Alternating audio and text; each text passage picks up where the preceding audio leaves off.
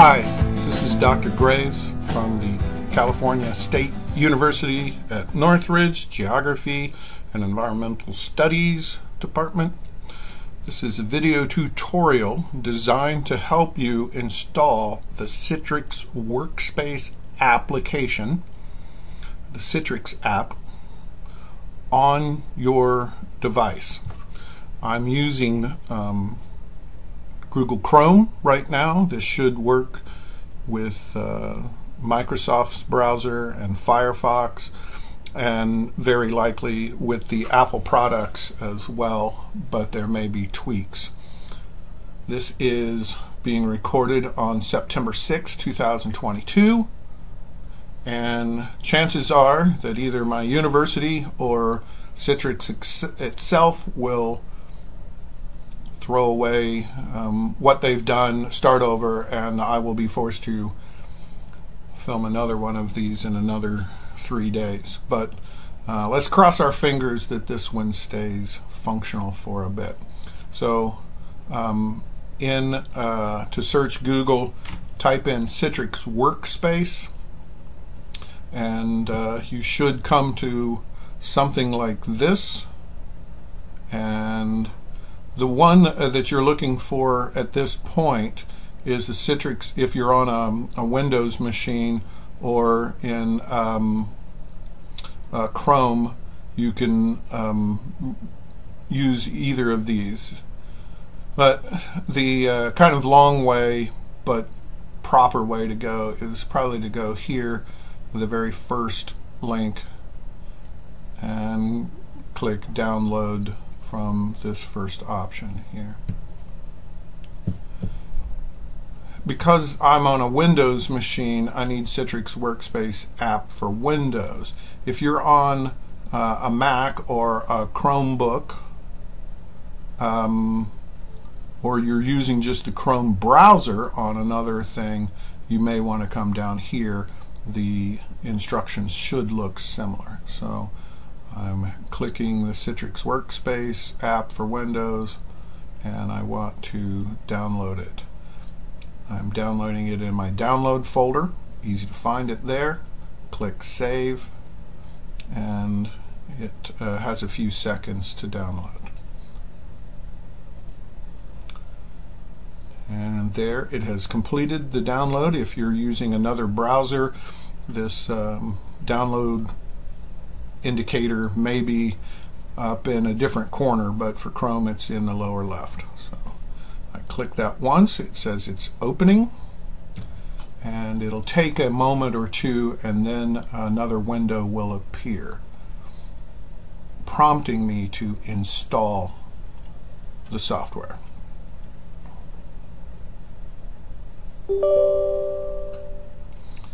Do you want to allow this app to make changes to your device? Click Yes. And uh, this dialog window appears. We want to click Start and agree to accept the license by putting a check mark in the small box. Click Next. And we want to click Enable Single Sign-On and that means it will remember the credentials for the device. Um, I'm not certain that this is absolutely necessary um, here at my university, but it may be elsewhere. Click Next, enable the uh, app protection, and click Install. This process is longer than it used to be, but I believe that uh, the application is more safe from hacking than the old older products. The entire installation process took about a minute, maybe 90 seconds. If you click Add Account, then this window will appear. Now, I don't think you need to do anything with this. I believe that you can uh, cross this out. It may come a time when you need to enter the store and it's https colon whack whack my software. If you click continue, it will try to connect and it will ask you for your username, password, and a passcode. But at this point, the Citrix workspace is installed. So you can click cancel and then you get this unable to add account and you can just X this box out to remove it. Now open a new browser window or tab and type in my CSUN software and that will bring you to the my CSUN software page here at um, California State University Northridge. Click log in to my CSUN software and you should be prompted. This is the sign-on window for our university. Please note this, that you do not have local storage. And so if you want to save your files, the university no longer uh, allows you to, to, save your work to your university uh, system, but instead uh, you need to save it on your local C drive. If you or in a flash drive, um, a USB external drive. So I use my standard uh, login credentials and I click uh, log on. Of course, we have one of these uh, horrible duo push requirements.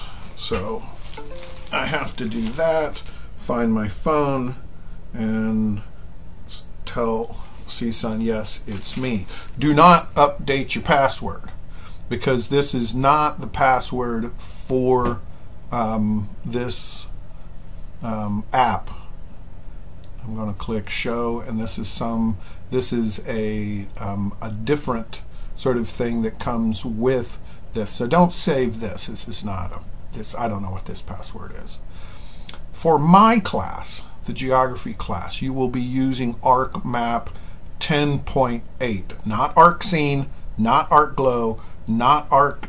Well, you may be depending on the class use Arc Pro, and but uh, for 107 it's always ArcMap. Note that you also have access to Excel, um, Word, SPSS, to other um, GIS softwares, and probably several other things, including Word. We're going to launch ArcMap 10.8, which looks like 108. This is prompting us to download uh, an ICA file, an ICA file. And I'm going to click Save. It's going to download here in the corner. And by clicking this, I'm opening this file, .ica file, with a long, complicated name. But what that tells the, the computer to do is to launch the Citrix app, which allows you at home or on your device to control another computer that is remote. Um, think of it as in a, computer in the basement of the library at your university, and that you're just using your video screen and your keyboard to control another a device, another a computer, a PC computer in the basement of the library. So there I go. I launched, I click that, it's now launched the Citrix app. You can see the little icon and the program that it's it's launching on a remote computer. ArcMap 10.8. I want to permit uh, the application to use the devices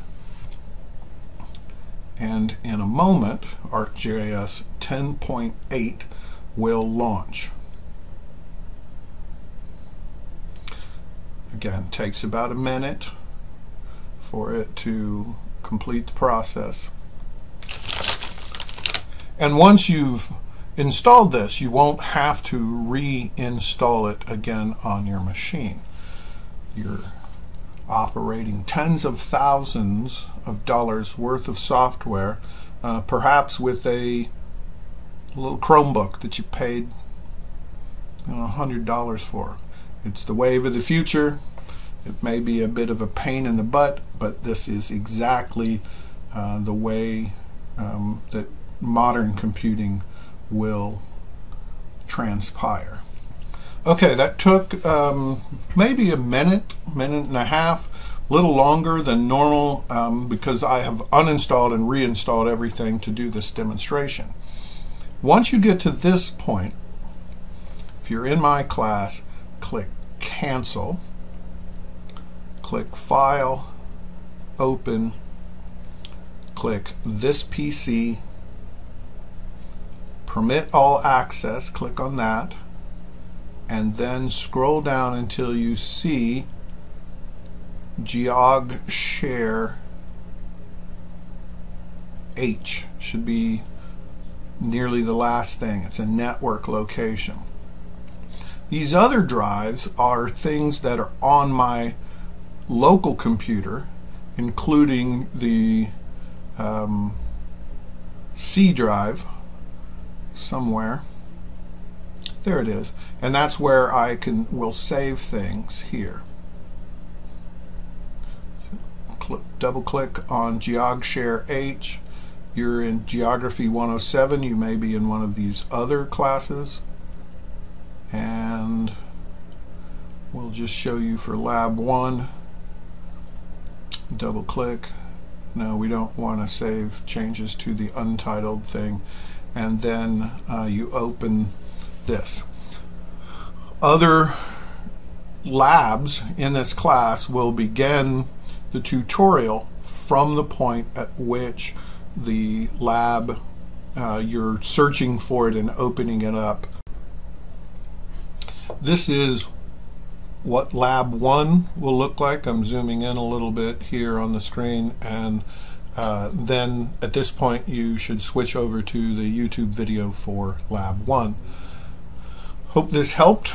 Um, if you have trouble, please see your instructor or consult the help desk at the university library or uh, through helpdesk at csun.edu.